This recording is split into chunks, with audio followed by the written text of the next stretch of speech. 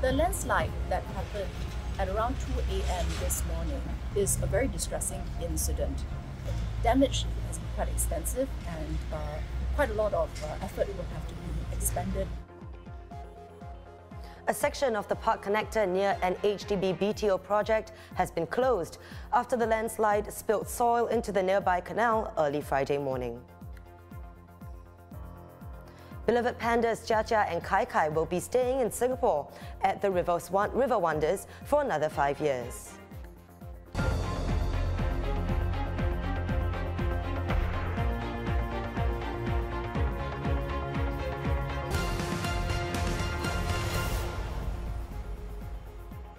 Hello, you're watching The Big Story with me, Chao Su En. Subscribe to the Straits Times channel to stay up to date with our live news updates. Now, if you visit the Ulu Pandan Park connector in Clementi often, you'll have to change your route. A section of the park connector near an HDB BTO project has been closed after a landslide spilled soil into the nearby canal earlier this morning. MP for the area Sim Ann said that the stretch near the Clementi NorthArc construction site in Clementi Avenue 6 will be affected. The section of the park connector from Ghim Moh to AYE will be closed on both banks of the Ulu Pandan Canal. HDB's checks of the surrounding blocks have indicated that the buildings are structurally sound. One passerby sustained minor injuries but has been discharged and is now resting at home. Ms. Sims said that the landslide was a distressing incident, but thankfully with no major injuries. HDB is deeply concerned about this incident and is doing checks on all our BTO sites. I think it is premature to comment on the specific causes of this particular incident, but HDB will get to the bottom of this, except for the immediate area that's been affected by the soil displacement into the canal. Uh, we are not expecting any utility supplies to the surrounding areas to be affected.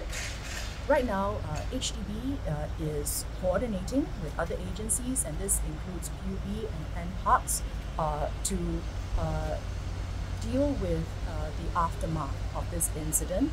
And uh, the immediate priority right now uh, is to restore water flow uh, into the Ulu Pandan Canal because that's a very important part of our drainage system. We know that many residents use this stretch of park connectors regularly for recreation uh, as well as moving point to point. It will cause some inconvenience, uh, but we do seek the public's understanding.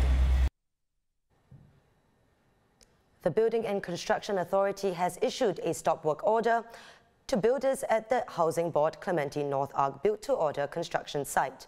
But Ms. Sims said that buyers do not need to worry. She said that according to preliminary assessments, HDB sees no reason to delay key collection beyond the dates already communicated to the buyers, but they will continue to monitor the situation. The earliest key collection is estimated to be in December. Joining us now to shed some light on the possible causes and implications of the landslide is engineer David Ng, Institute of Engineers Civil and Structural Technical Committee Chairman. Thanks so much for joining us today, David.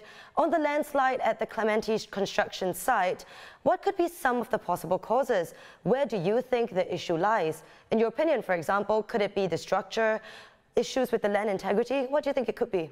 The actual causes for the land movement uh, that happened in Clementi will need to be thoroughly investigated with the uh, fact find, fact gathering from site before the actual causes uh, can be um, can be explained. Uh, but uh, from my point of view, what we normally uh, encounters, uh, these are some of the common factors that could affect the the movement of the slope. So one of the common factors will be the um, the change in the profile of the slope on top, and as well as the change in the drainage condition on top of the slope. And some other factors are such as the change in the loading condition on top of the slope that could actually add loading onto the slope. Yeah. So uh, then the other uh, uh, factors, the change in loading or the change in the, the slope profile, right? This, this will actually be changing the loading on the slope as well as uh, causing the uh, uh, water to soak the, the slope and therefore weaken the slope and therefore lead to the slope movement. So how do you think this will impact the structures around the site? I mean, it's near an MRT, a BTO project, and several other HDB blocks. Is there any risk at all that they could be affected?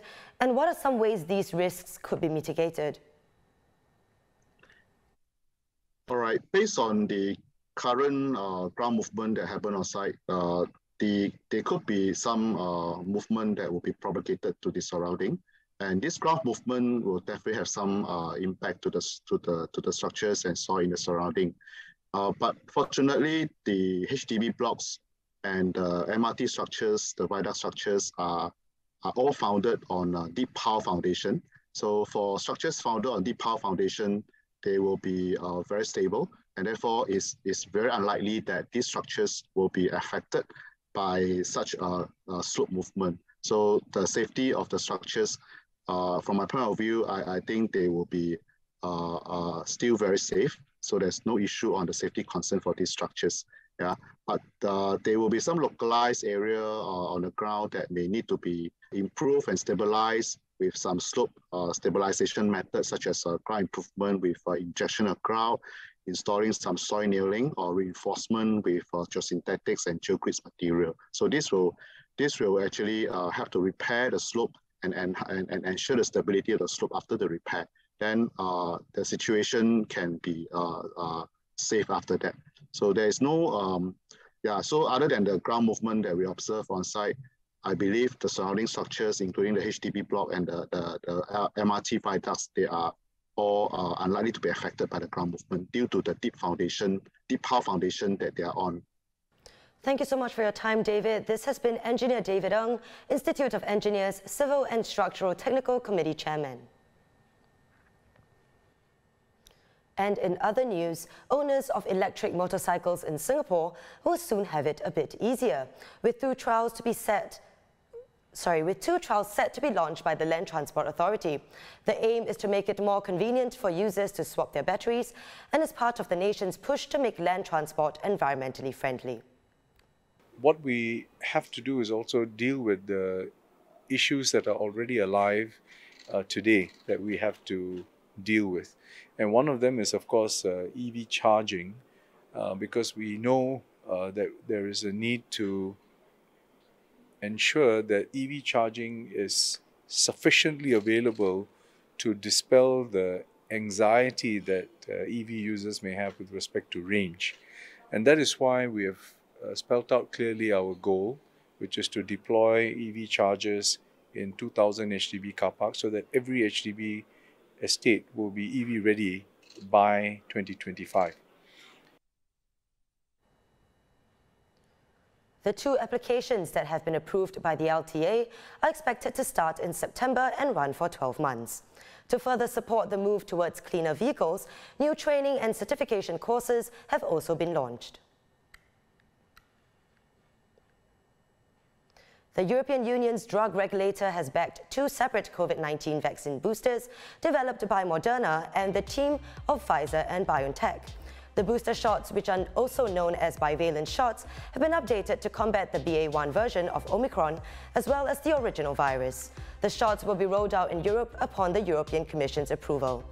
Meanwhile, advisors to the US Centers for Disease Control and Prevention have voted to recommend the use of booster shots redesigned to target the BA4 and BA5 Omicron subvariants. Canada has secured 12 million doses of the new booster, and Moderna will start delivering them from Friday. And good news for the panda lovers out there, Jia Jia and Kai Kai will be staying in Singapore at the River Wonders for another five years.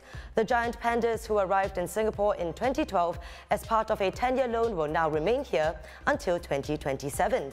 This was part of a deal that Mandai Wildlife Group signed with Chinese authorities to extend their stay. The pair gave birth to a cub Lele in August last year. And looks like Jia Jia and Kai Kai are having a blast here, celebrating their birthdays in advance this month with presents and cake. They turn 14 and 15 this month.